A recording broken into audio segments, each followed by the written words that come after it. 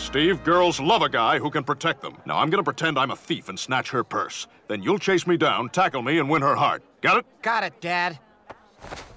Oh my god, my mom almost caught me throwing up last night, and she's like, hey, my purse! Don't worry, young lady. Hey, you, come back here.